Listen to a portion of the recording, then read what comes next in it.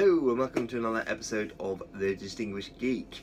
If you're new to the channel, welcome and please don't hesitate to uh, subscribe so you don't miss any future episodes.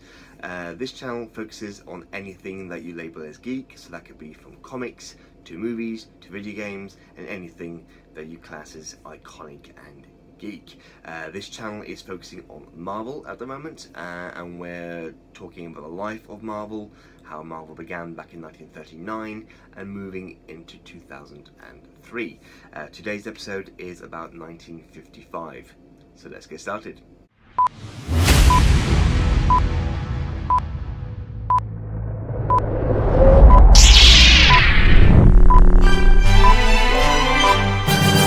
Nineteen fifty-five as an act of self-defense against the hostile bombardment from the public about the comics being published for children with violence, the publishers banded together as the Comics Magazines Association of America and formed the Comics Code Authority, or the CAA.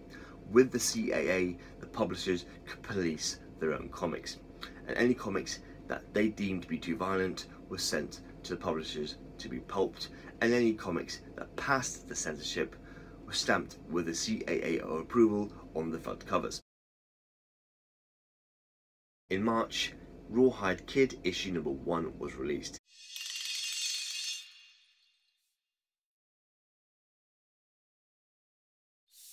Now, Rawhide Kid wasn't very successful when it first appeared, but it was very durable. It lasted until the fall of Atlas and the rise of Marvel in 1957. It was revived and somewhat improved in August 1960 thanks to the popularity of the television series Rawhide starring none other than Clint Eastwood. With the knock-on effect of the Comic Codes Authority, the Westerns were the most affected.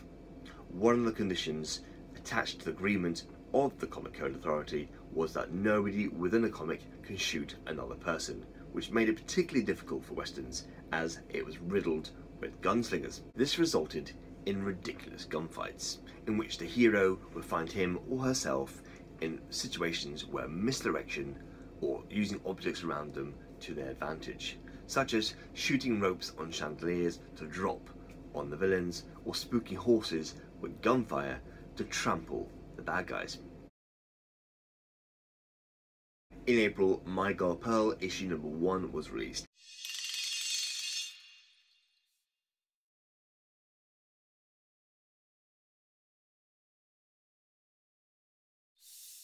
This was a series that Stan Lee originated with artist Dan DeCarlo, who worked on most of the comedy teen series such as Josie and the Pussycats, Millie the Model, and Sabrina the Teenage Witch for Archie Comics. Girl Pearl was a stereotyped blonde who wasn't very bright. The series rolled out story after story on Pearl's inability to grasp onto day-to-day -day life.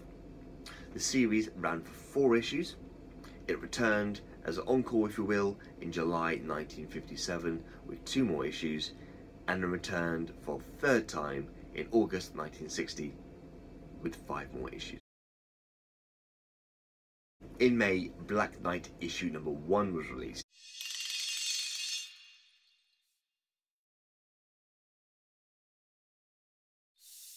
By far, one of the most remembered series of this period.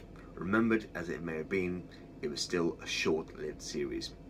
The Black Knight printed adventures of Sir Percy of Scandia, who, at night, under the cover of darkness, harnessed an enchanted armour bestowed upon him by Merlin to defend Camelot from Mordred the Evil. Stan Lee gave birth to his Crusader and wrote the first issue using Old English dialect, uh, which eventually characterised Thor in a not so distant future when he debuted in August 1962.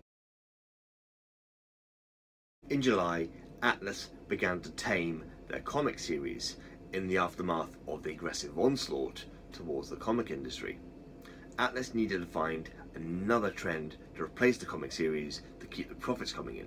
And one area they were looking at was the television. Television was becoming very popular with TV shows orientated around family and children. So it made sense for Atlas to publish a comic based on a TV show. Atlas chose a children's TV show called The Adventures of Pinky Lee, but the series only lasted for five issues. October brought the end of The Submariner. Martin Goodman, the publisher of Atlas, had been in talks with television executives hoping to bring the adventures of Submariner to life in the live action television series, supposedly to star Richard Egan. For those who are too young to know who he was, he starred in such films as Pollyanna with Hayley Mills, 300 Spartans, and Love Me Tender with Elvis Presley. The talks unfortunately went round in circles, resulting with the end of the Submariner's extended run with issue number 42. In November, Snafu issue number 1 was released. Now what the hell is Snafu, I hear you asking? Well, Snafu is a military term meaning situation normal, all fouled up. A tame version of Fubar from Saving Private Ryan, meaning fucked up beyond all recognition. That one rolls off the tongue a bit better, but I don't think that would have gone down too well if it was printed. Snafu starred Irving Forbush, a mascot, an alter ego, if you will, for the Marvel Comics, which was a parody for the Marvel Comics. A little experiment that Marvel were trying to do, but it lasted for three issues. The question in last episode was, it was the maiden flight for which plane in 1954? And the answer was the Boeing 707. And for the bonus questions, it was, what was the company who made the plane, which obviously is Boeing, and where did it take off from? And that was Seattle. Unfortunately, no one answered the question correctly, so we'll move on to this week's question, which is, what theory by Christopher Cockerell was tested in 1955? And for the bonus question, it is, how did Christopher Cockerell test his hypothesis? If you leave the answer in the comments below, and I'll feature your name in the next episode. Once again, thank you very much for watching. Please like, share and subscribe so you don't miss another episode. Thanks guys, and I'll see you soon. Goodbye.